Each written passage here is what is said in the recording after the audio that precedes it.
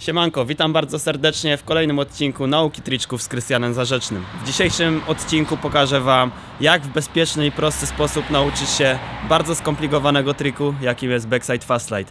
Jeżeli nie wiecie jak to zrobić, długo zajmuje Wam nauka, albo popełniacie kilka prostych błędów, które uniemożliwiają Wam wykonanie tego skomplikowanego triku, Zapraszam do oglądania. Możemy przejść do pierwszego pytania, które klasycznie zadaję w każdym tutorialu. Co powinniśmy umieć, żeby nauczyć się backside fast? Odpowiedź jest prosta. Muszę umieć jeździć bardzo dobrze na rolkach i znać dwa podstawowe triki. Backside w 100% oraz top soul w 100%. Ten trik no, nie jest wcale taki skomplikowany, jak nam się wydaje, tylko musimy uniknąć kilku podstawowych błędów. Podstawowym błędem w trakcie nauki backside fast jest próba wykonywania go na prostej nodze. Jest to największy możliwy błąd. Nie da się popełnić bardziej karygodnego błędu przy tym triku. Jeżeli chcemy go robić go na prostej nodze, oczywiście zrobimy go, ale maksymalnie myślę, że na tyle, ile pozwoli mamy rozpęd, więcej nie przejedziemy. Drugim, bardzo karygodnym błędem jest odwracanie się do przodu w trakcie wykonywania fast slide'a.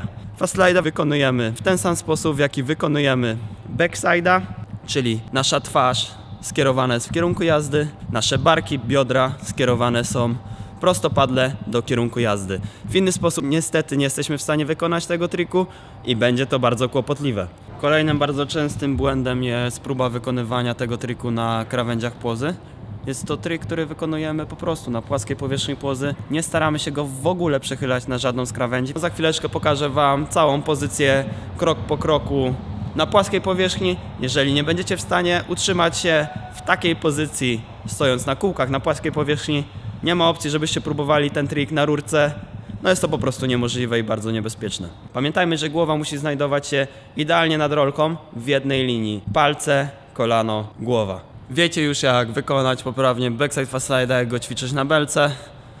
Przechodzimy teraz do backside'a i top soula i do przechodzenia do backside fast slide'a z tych trików. Robiąc backside'a musimy pamiętać o tym, żeby przenieść ciężar ciała na nogę, które znajduje się z przodu. Musimy ugiąć kolano. Nasze ciało skierowane jest prostopadle do rurki. Ręce rozkładamy sobie na boki. Kolejnym etapem nauki tego triku jest przejście z top soula do backside fast slide'a. I no chyba tyle, kurczę. No tutaj jakby za dużo nie ma do tłumaczenia, jeżeli chodzi o przejście o switch up top soul, backside fast slide bo jest bardzo proste. Jeżeli już potrafimy pojechać na top to przejście chociaż na chwilę do backside fast nie będzie stanowiło w ogóle żadnego problemu. I teraz przejdę do mojego ulubionego sposobu uczenia się backside fast czyli z grubej rury.